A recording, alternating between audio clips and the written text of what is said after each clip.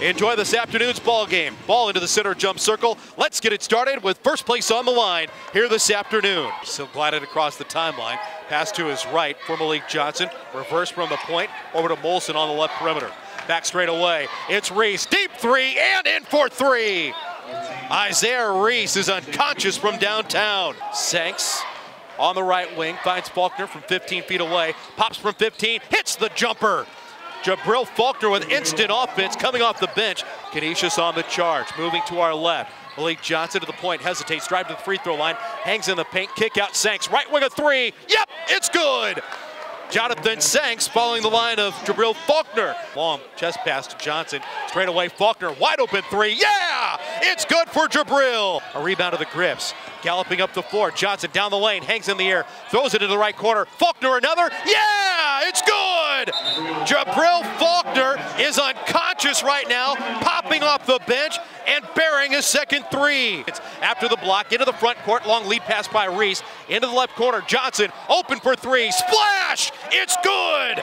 Across the coach's hash. Straight away, Crumpton, another three. That's good!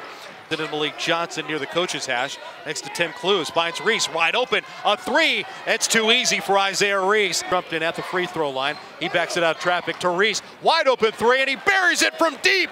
Oh, man. Keen to shoot. To call. Jump pass back to Malik. Malik right of the key for three. Yeah! It's good for Johnson. Golden Griffin basketball out of the timeout following the 11th Iona turnover.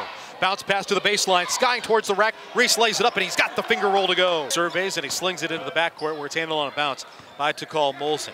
He goes over the Iona script. Long bounce pass to Crumpton. He runs in and he jams it with two hands. Wow! Long bounce pass from Molson. Springs in the feet of the senior. Crumpton with the jam. Reese with a steal. In transition, layup good. One lead. Six, near side of the floor. Passes to Planicic, left of the key, a handoff to Faulkner for three. That's good.